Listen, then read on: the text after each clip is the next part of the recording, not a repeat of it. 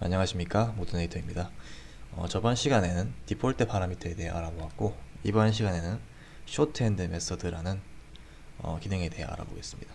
shorthand method는 어, JavaScript에서 어, 그 객체 안에 method를 이렇게 선언할 때 어, 매번 번거롭게 이제 불필요한 코드를 이제 쓰는 것을 어, 뭐랄까요? 좀 방지해주는 그런 문법이라고 보실 수가 있습니다. 그래서 shorthand 어, method라는 이름으로 파일을 만들어서 기존에 저희가 이 object 안에 그 method를 선언할 때 이런 식으로 했죠. 예를 들면 print라는 method가 있으면 이쪽에서 이제 메시지를 해서 console log print 이런 식으로 해서 뭐 utils라는 이름을 하겠습니다. 그래서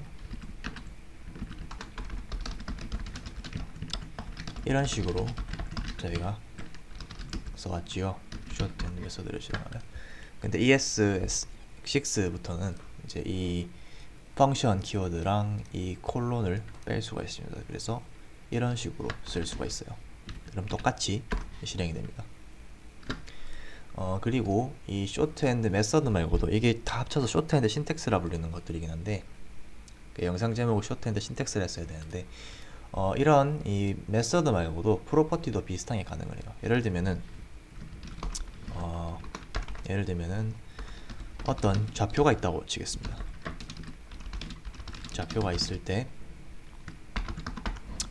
어, 여기 이 좌표 안에 이제 저희가 x라는 값이 있고 y라는 값이 있을 때 이걸 출력해 보면은 이제 값이 나오겠죠. 일단은 아,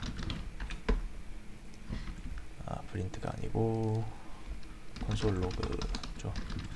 그래서 이렇게 값이 나오는데 어, 만약에 어, x랑 y의 값이 이미 정해져 있을 수도 있습니다. 일반적으로 작업을 하다 보면 이런 경우가 자주 있는데 기존의 JavaScript에서는 이런 경우에는 여기다 x를 넣어줘야 되고 y를 넣어줘야 돼요. 즉 이 coords의 x라는 property에 이 x라는 변수 안에 있는 값을 넣고 y는 마찬가지 y 이런 식으로 넣어주는 건데 어, 이제 ES6에 shorthand syntax를 쓰게 되면은 이름이 이렇게 같은 케이스에는 이렇게 생략을 할 수가 있어요. 그러면은 자동으로 이 x라는 property 안에 이 갓, 이 뭐랄까요, 이 context 안에 이제 있는 x를 찾아가지고 넣어줍니다. 그래서 똑같이 실행이 돼요. 그래서 어, 이런 식으로 한 줄에 간단하게 표현을 할 수도 있죠. 그래서 어, 이런 게 가능합니다. 그래서 어, 이런 방법이 상당히 자주 쓰입니다. front에서도 저도 많이 쓰는 방법이고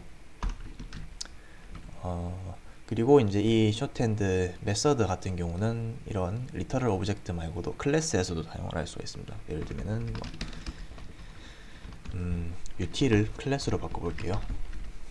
class로 바꿔서 print라는 method가 있으면은 이런 식으로 console log 어, 메시지 하면은 어, 아, 이, 이런 경우에는 이렇게 해야겠네요. 이런 식으로 해야겠죠. 그래서 실행을 하면은 똑같이 실행이 됩니다.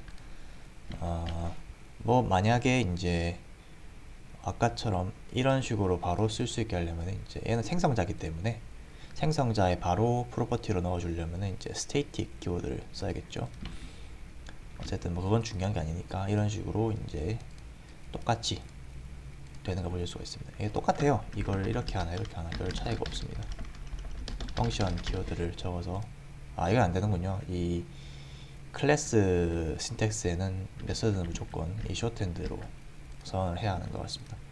어쨌든 이런 식으로 쓰는 게 이제 shorthand syntax입니다. 이게 method로 쓰이면은 shorthand method가 되는 것이고 뭐 프로퍼티로 쓰면은 뭐 쇼트핸드 프로퍼티가 되겠죠. 네. 이상입니다.